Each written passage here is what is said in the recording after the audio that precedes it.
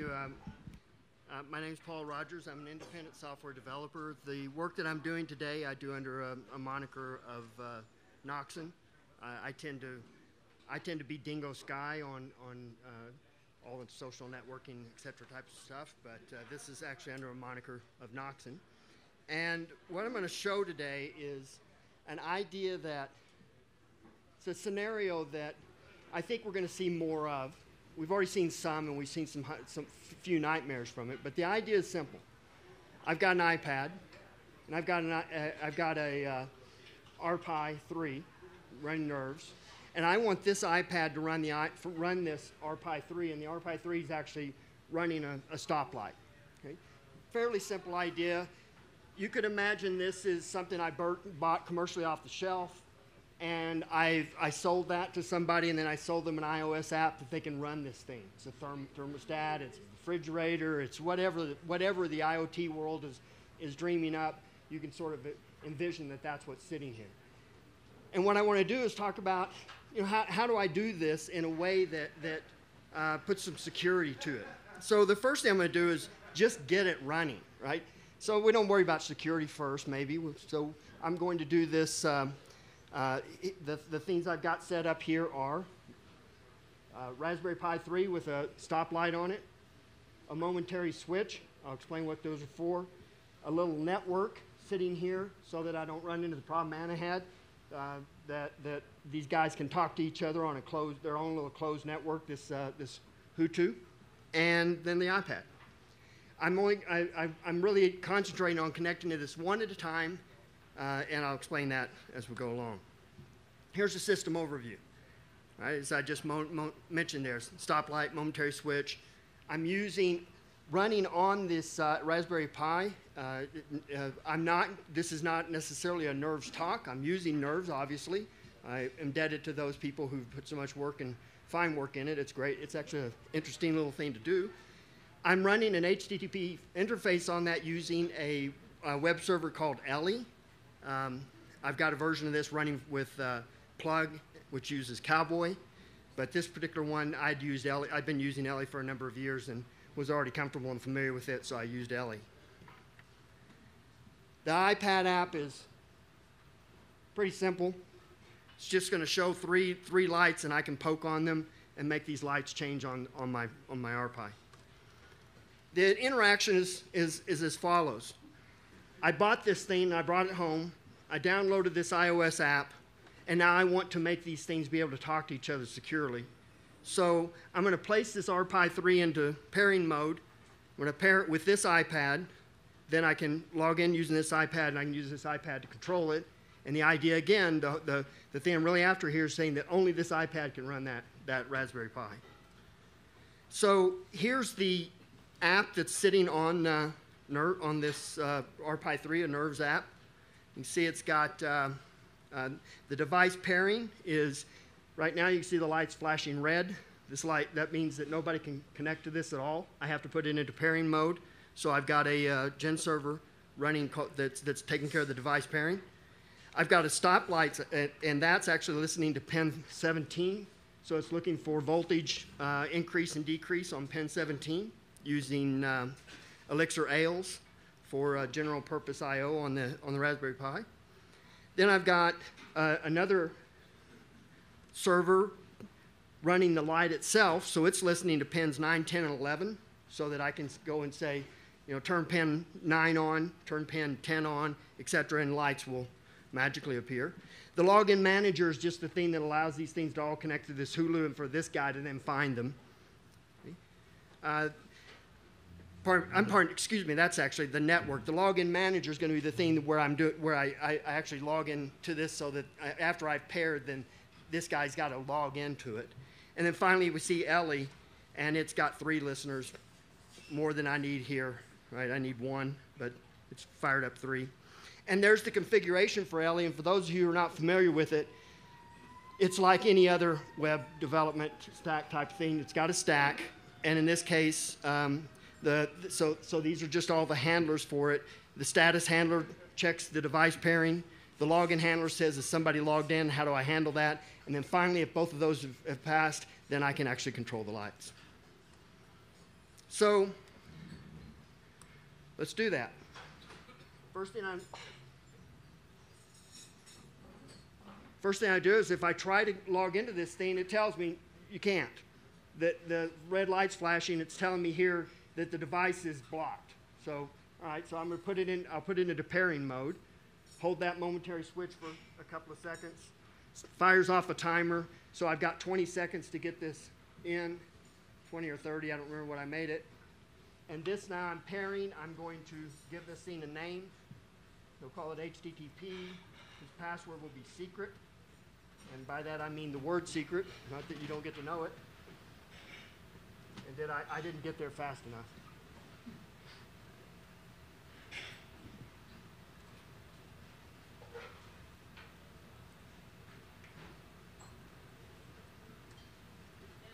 And there now, I, I see that it's flashing green. That means now I can control the light. I can turn it red. I can turn it green, turn it yellow, turn it red again. And the first time you do a nerves app, you, you go get a beer now, right? You might even go get two. Because it seems like we're a real big deal, but, uh, and, and, and mind you, also, let me just uh, put a quick aside. For those of you who have done talks and worry about the demo gods, I just, I just uh, Andy doubled up here. I've got three of these damn things and an iPad and this, and like just crossing my fingers and we'll see. All right, so let's look at, whoops. That all was well and good. I talked to this thing, but there's a significant problem, and that is that anybody on the device, I mean, on the network with me, could see what I was doing.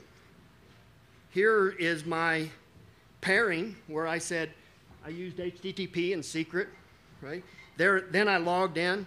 Then I changed the stat. I looked, asked what's the status of the light. I turned the light on. I turned it yellow, green, red, etc.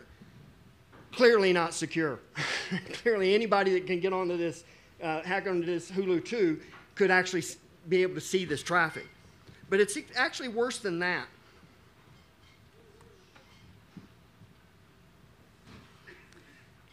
this is just in case my, it didn't work. That's, that's what we just saw. But it's a little worse than that in that I'm going to do this again. Let's go. Whoops. I'm going to go here. You can see my light is currently red. Okay. I'm going to go over to this. Uh, yep. Nope. And I'm going to say, take the HTTP light and switch it to green. Great. Look at my iPad. Ouch. This turned green. The iPad doesn't know anything about it. Okay? It can even be a little worse than that in that the I can tell the the light to turn red now, and I've got red and green both on. I can't do that with the iPad. It's a, it's a basically a, a, a bug. But I didn't catch it on my iPad because I can't. I won't allow myself to send that message. So not only can someone control the light, they can put it in an inconsistent state. Clearly not what I thought I was getting into when I said I wanted to control these things, but that's fine. We didn't use any security yet. So the problem here then is that Eve can snoop the traffic, see the plain text username and password, capture application data. Now I'm going to differentiate here. This is a security talk. I'm going to differentiate between Eve, which I think of as an evil person but just listens, and Mallory, who has malicious intent. They're really the same person, but Mallory's got malicious intent. She'll actually alter the traffic. It's very possible to sit in here between these two, and when this, every time this sends red, to change the traffic and say, make it green instead. And so now this, the, the person trying to control the light here can't get it to even work. Okay?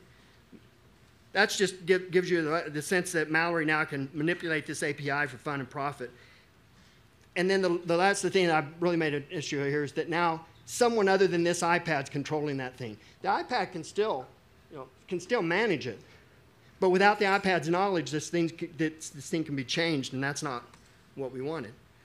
So, what do we want to do? We want to add security. I'm, only, I'm not covering these for secrecy. I'm just trying to be sure nobody's epileptic and decides to collapse, and then I'll feel really bad. Uh, we're going to encrypt this by using symmetric key encryption.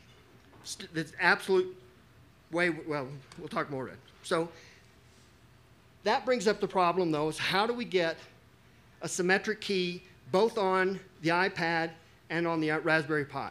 This is known as the key distribution problem. It's a thorny issue. It has not been solved. I don't care what you think. It's just been addressed, certainly not solved. One of the first things you could try and think of is say, well, just burn the key into both of these. That's basically what uh, the, cipher, uh, the ciphers were for thousands of years. That's what, if you look in, if you read cipher book in history, the first ones you'll talk about are Caesar ciphers and say they rotate the three. Well, that's the pre-shared key is rotating three, and you told all your generals, right? Well, the problem with that is that it's got several significant issues. One is called forward secrecy. It's actually called perfect forward secrecy. I took perfect out and I thought Matt because uh, it, it's perfect in the sense that it's, it's complete, uh, not, not in the sense that nothing could possibly be better. So I, I take it out. I just call it forward secrecy. Key refresh and maintenance are also issues. How do I get the how do I tell the generals that I've changed? How do I make sure that all the generals got all of my changes? So just forget pre-shared key. Just don't try it. So instead, we'll use dynamic key establishment. And the, the scheme that we're going to look at is a, an asymmetric scheme to create our symmetric key, and then we use that symmetric key for the actual secrecy. You've all done this. Whether you knew it or not, that's exactly what HTTPS is. Right? HTTPS is a asymmetric cryptography to establish a key, and then after the fact, everything that everything after all the bulk is actually done uh, using symmetric key encryption. So now we're going to do this again. This time we're going to connect to the HTTP, and I've already registered this guy, so I can just log in as and I can't see that, so I hope I'm getting there right. Please. Yep. So now I'm logged in, and I control this guy, this light, and I'm doing that through HTTPS, just to prove that everything's wonderful in the world. Whoops. We go back over to the, oh, by the way, I should have uh, introduced this. This is just a man-in-the-middle proxy. Uh, I'm using Charles here you can, they're free. This one costs $50, but it's so convenient for me. I've had it so long, I like it. Uh, Man in Middle Proxy is free. Wireshark is free. Uh, web, uh, Windows has other versions, etc. So, but here's the key: is that after I do that, there's what the traffic looks like. I go, I have another beer, right? Everything's great. I'm going to restart this and come back tomorrow, and I, you know, I you know, I sobered up. I came back. I thought, okay, how's this working now? And pardon me while I don't watch the man behind the curtain as, whoops, cancel you, as I go and make a little switch here.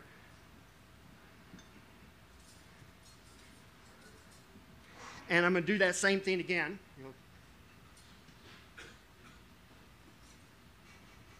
Cancel. So now I'm logging into the HTTP interface.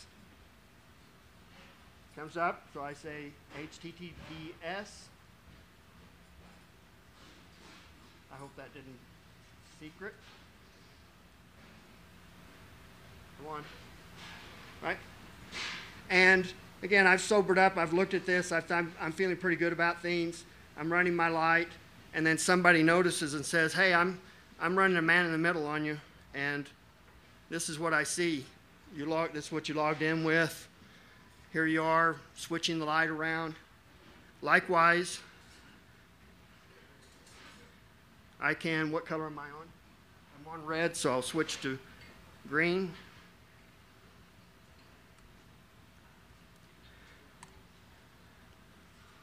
Come on. It's a little slow, but because it's got to do its, right? And I see that switch to green. This guy doesn't know about it. Basically, I'm right back where I started, almost. I'm a little bit better off, but HTTPS didn't solve my problem. It did not finish it off for me. I thought I was done. I thought all I had to do was use HTTPS and I was be, I'd be done here. And clearly I'm not. So, what happened? That's the HTTPS scenario. This is the HTTPS scenario with man in the middle and I can actually use curl to run this thing. And note that curl, the magic there is that that TAC K there? That says disregard um, any, uh, any uh, key exchange stuff. I'll say in a moment about that. But anyway, if you, if you actually man curl, then you can find out that there's that TAC K there and do this. So what are the issues? We sort of took care of Eve. She can't see anything, but we didn't take care of Mallory. Now Mallory can still snoop this iPad traffic through legitimate use. Okay? Mallory can manipulate the API for fun and profit. She can control the stoplight independently of the iPad.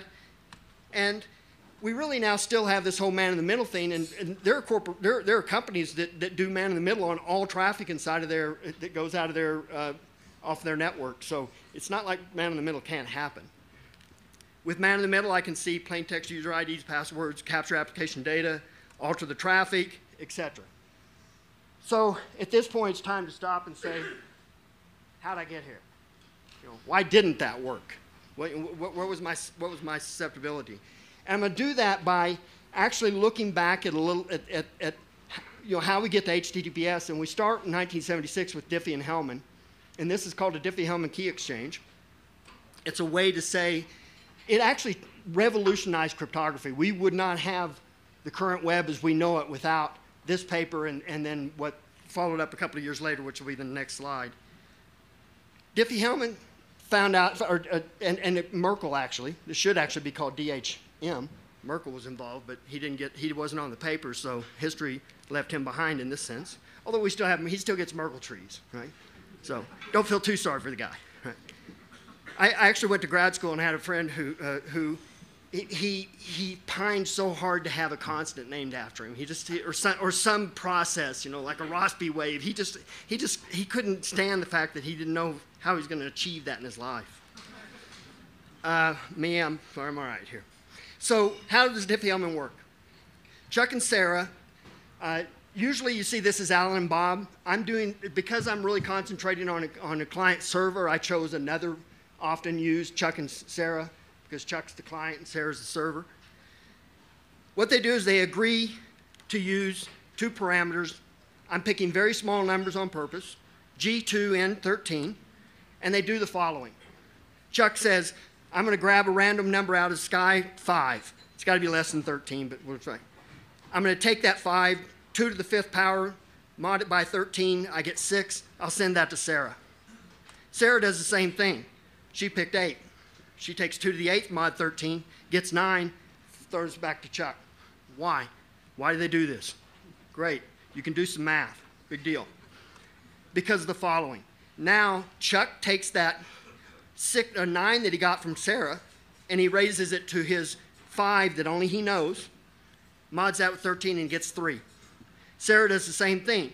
She takes the 6 she got from Chuck, raises it to the 8 that only she knows, mods by 13, and she gets three. And that was a huge deal because now we can actually agree on a key without having to talk, without having to have the generals all come home. Chuck and Sarah can do this from, from as far apart as they want. Right? We call this key establishment. Uh, they've done this through what's called key agreement, and they've got this k equals 3. The, here's the really nice feature of this Eve, even if she knows G and N, because remember those were public values, even if she sees the 6 and the 9, because I didn't say anything about the fact those aren't hidden, they're fine, she still can't calculate K. Now, with my numbers, you could, but get these big enough and it makes it pretty hard. Okay? So she, it's difficult to do that because of, of what in, in cryptography you, you, you use, you lean on these things called one-way functions or hard problems. This one depends upon the fact that discrete logarithms if you've got a, a finite field with, an, uh, with a prime order and that order is large enough, then finding the discrete logarithms in that finite field is extremely difficult. That's what's happening here, whether you know the math or not. And Diffie-Hellman problem is actually slightly different than that, but it's linked to the discrete logarithm problem. So that's, that's kind of, we'll just say, it's, it's difficult to find K. The problem with this, though, is it's called an un unauthenticated key agreement, or also sometimes called an anonymous key agreement in the fact that notice that Sarah got a six. All she can do is say, I guess Chuck sent this. Chuck gets a nine. He goes, I guess Sarah sent this. There's no authentication. We'll talk a little more about that in a moment.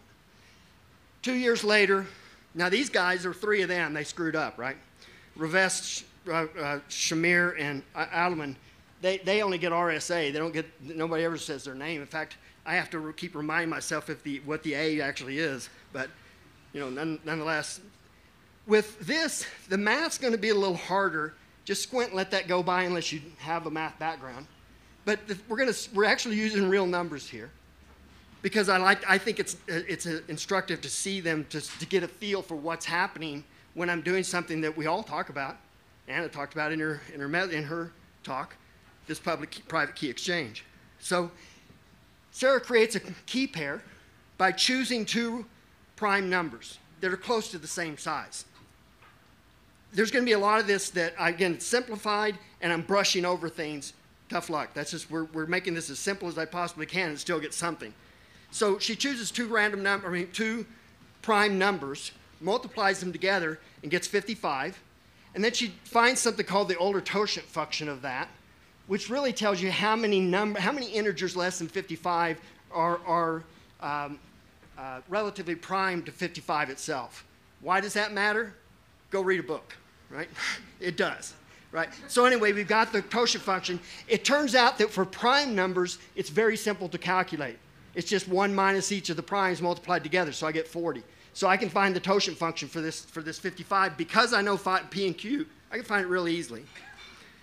Now, Sarah says, okay, I'm going to choose a value E, 17. It's got to be less than the totient function 40, and it's got to be relatively prime to 40. Again, go read a book. But she does it. She takes 17, and she, and she solves this equation. E times D modded by the totient function equals 1. She goes and she's got some algorithms that help her solve that. And the key fact of this is that problem is extremely hard unless you know P and Q. If you know P and Q, it's not hard. If you don't know P and Q, good luck, right? It's basically, it's basically the discrete logarithm problem. But she does know P and Q. She, she picked the damn things. So she gets D is equal to 33 she stops with all of her, uh, whoops. She stops and says, okay, I'm done here now. I've got a public key. I, I take my E and the N, and I pair those together, call it 1755, and say, this I declare as my public key. The D, which I calculated at 3355, it declares my private key, and that is a key pair. Why would you do this? I mean, good God, there's a lot more math there than I'm even pretending to, to but because of this very stunning fact. Any K less than 55 raised to the E, and then raise that to the D, and mod by 55 gives me K back. That's, again, we would not have the modern web without that statement right there, because that is the reason why public key encryption works. Not to be confused with public key cryptography, but encryption. Okay? So raising by the E is typically called encryption. Raising by the D is typically called decryption. The E and the D could have been switched above. There's a reason why you tend to keep the E one way and the D the other is because you can make the math easier. And so the public key tends to be easier to calculate. Right? If you do it the other way, uh, that's signature. You encrypt with the D, decrypt with the E. We typically call that we sign with the D and we verify with the E. But the, it's completely interchangeable. This scheme's great, but it's computationally really slow, about a thousand times slower than Diffie than uh, pardon me than symmetric key encryption. So we tend not to use it for bulk encryption, but we do use it for key establishment and digital signatures. Okay, so let's see this in action. Chuck's, I mean, Sarah, all we've done is talk about Sarah getting her number. She's got her number. She's feeling good. Chuck says, hey, give me your private, I mean, your public key. She sends 1755. Chuck grabs a six, says, I'm going to make, I'm just going to use six and he raises 6 to her, her uh, public key, 17, mods it by 55, sends that 41 over to her. She takes the 41, raises it to the, pr the private key, 33, mods that by 55, and gets the 6 back. Now they, I put the nonce in there just because there's got to be some, that, that way they can, they can guarantee that they, that they have the same value. Um, it's just some data that they, they're signing in effect. Um, so this scheme, Chuck and Sarah establish k equals 6. This is called a key transport. We don't do this very often.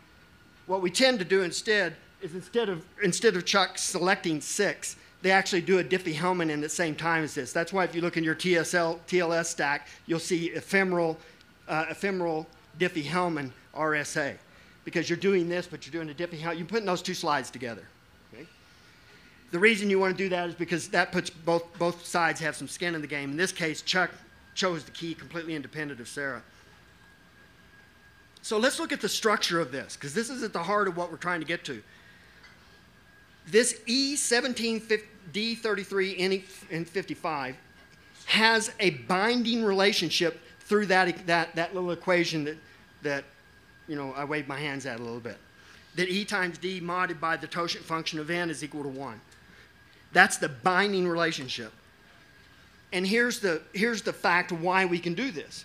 Because given that E and N, it's very difficult to determine D. Now, if you remember, that's exactly what Sarah did. But she had another piece of information. She knew P and Q. If you don't know P and Q, then basically you need to factor in into the P and the Q so that you can do the calculation, and that's the part that's hard. It's called integer factorization. It's, a hard, it's another one of the, the hard problems that we use in cryptography for one-way functions. Part of the more structure of this is that Chuck trusts that that E and N belongs to Sarah. He either does that explicitly, just send it on. I'm, I'm ready. Bring it. Or he uses, he says, I don't know Sarah, so I'm going to trust Trent. I know Trent. Trent knows Sarah, so I'll transfer that trust to Trent. And you've all done it if you've ever used a CA. The, the, certificate authorities are Trent, and you're saying, I don't know. You tell, you tell me. Right? Sarah also trusts that she wants to talk to Chuck. This is what, what I'm going to uh, refer to as an open system. It's got multiple entity trust model, and there's no single person controlling this. And I want to get back to my theme here. There's nothing open about this system. This worked and, and is key to, the, to web development, the web world, because basically Sarah in the web world is an all-comer. She says, hey, bring it on. I, I want I want to talk to all kinds of Chucks. Here, I want this iPhone, I mean iPad, talking to there, and that's the only two people I want to talk to each other. This is, this is a closed system. Man in the middle, I'll just, I'm going to fly through this because I think I'm going to run out of time if I don't. Mallory, what, what Sarah did, Mallory can do just as easily. She, she can come up with her own PQ, ED, and N. Then when Chuck says, give me the key, Mallory intercepts it, gets Sarah's public key, sends her public key to Chuck, Chuck happily uses it, gets 76 this time. Mallory grabs the 76, decrypts it, encrypts it with her key, and sends that to Sarah. She, takes, she gets the 41 and she gets 6. Notice that they got the same thing. They're still, they're still happy, but here's the real fundamental problem here Chuck and Sarah can't know this happened.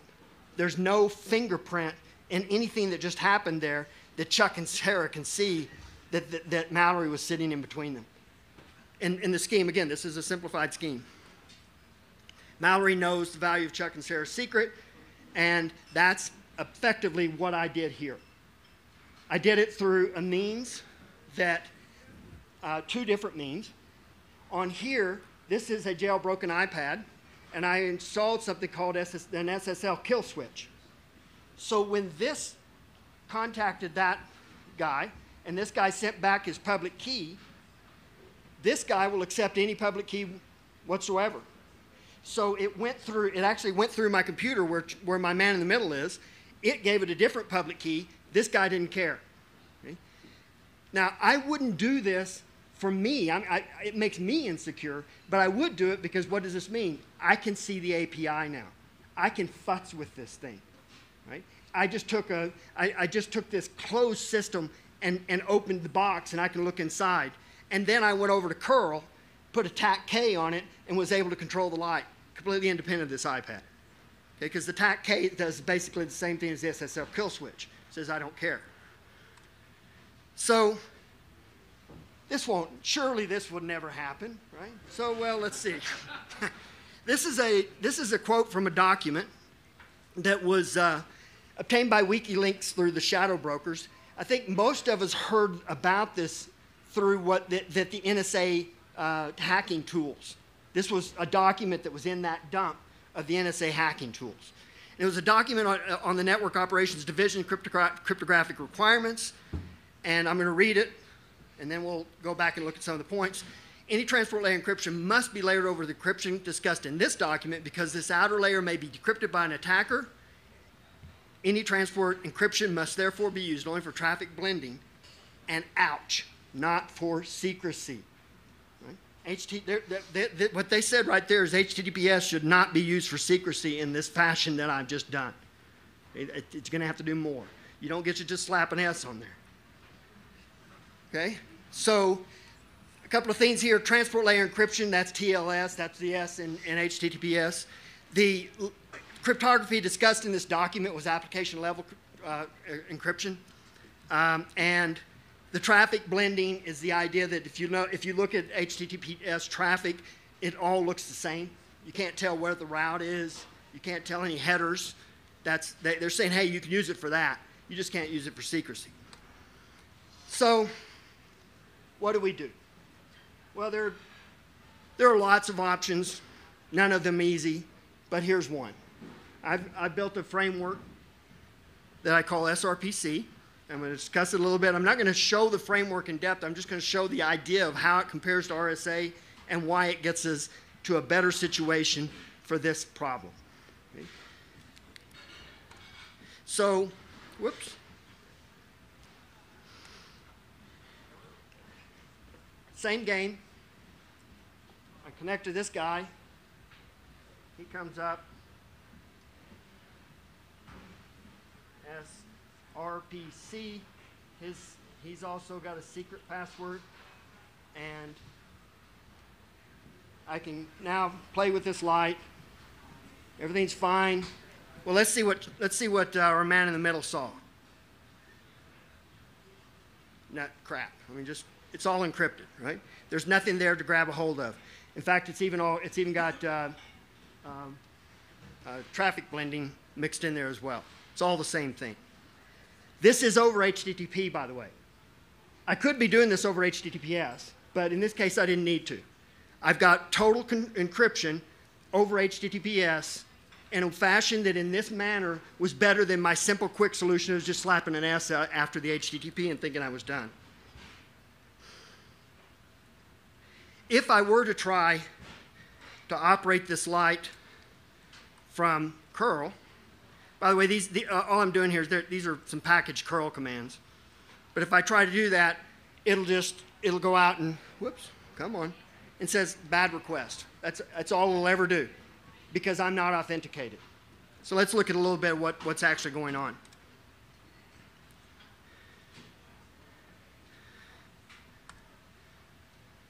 Now I'm going to look at basically a, a, a, structure that is very similar to the RSA and Diffie-Hellman, but it's called SRP for the Secure Remote Password Protocol. It was invented by Thomas Wu in 1997. And, um, well, let's look at it real quickly. It should feel the same. We're doing a lot of the same kind of things we did with both with Diffie-Hellman and with uh, RSA. Chuck and Sarah agree on some, uh, some public parameters, 2 and 13. Chuck chooses, now notice Chuck this time chooses, not Sarah. Chuck chooses 5 and he calculates this, this value called V, which is known as a verifier, by taking 2 raised to his 5, modding by 13, and he gets 6. Chuck keeps the, the 5 and he gives the 6 to Sarah. And then the protocol follows this way Chuck picks a random value, 11. He takes that 11, he says G to the 11, mod 13, that gives me 7. I send the 7 across. Now notice I also sent the ID because this is an authenticated key exchange, not an unauthenticated, whereas with Diffie-Hellman, so I have to send the ID to say, hey, Sarah, I'm Chuck, right? Send the 7 over. Sarah takes that seven, takes the ID and goes and gets Chuck's verifier, and she computes the her uh, pardon me the the she grabs a random number B raises it to a, the, takes 2 to that power mod 13, and she adds in Chuck's verifier, and that's what she sends back. Again, why? Because this nice little fact. This is an asymmetric calculation. Notice they're doing two different calculations, but it turns out they're really doing the same thing. Chuck, Chuck does this calculation of b minus g to the x, a, a plus x mod n. He gets 3. Sarah does her calculation, A times the, the, A, the A she got from Chuck. Or, notice here the B, the, the B over here was the value gotten from Sarah. Now the A is from Chuck. Takes that, raises it, blah, blah, gets three. And that's the magic. Okay? They both now have, have agreed upon key. And the very and so this is very similar to a combination of Diffie-Hellman and, and uh, uh, RSA in the sense that you have authentication and you have this key exchange. I'm going to skip over that. Chuck and Sarah established this key via key agreement. Look at the structure, got a very similar structure. I've got these values, and they're bound together by some mathematical relationship. Given four, three of the values of that mathematical relationship, it's very difficult to, to do the third, to get the fourth one similar to the same thing that, that uh, we had with uh, Diffie-Hellman and, and with RSA. This is actually called the SRP problem. It's linked to Diffie-Hellman, which I already showed was linked to uh, discrete logarithm.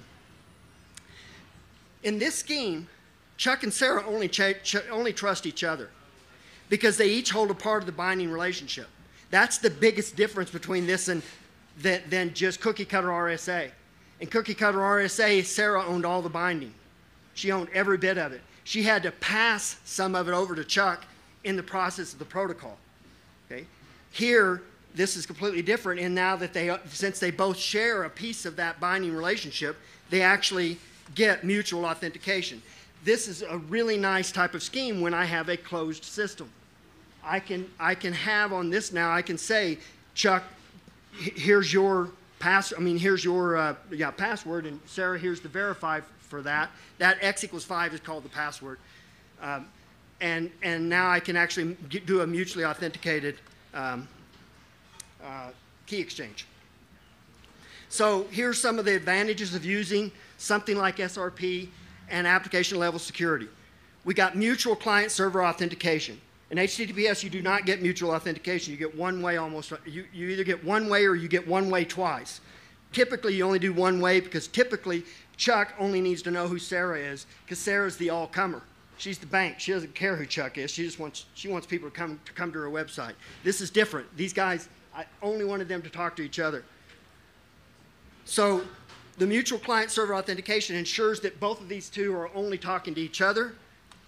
Then I also have a mutual uh, user authentication. That was the password that was passed back and forth between the two.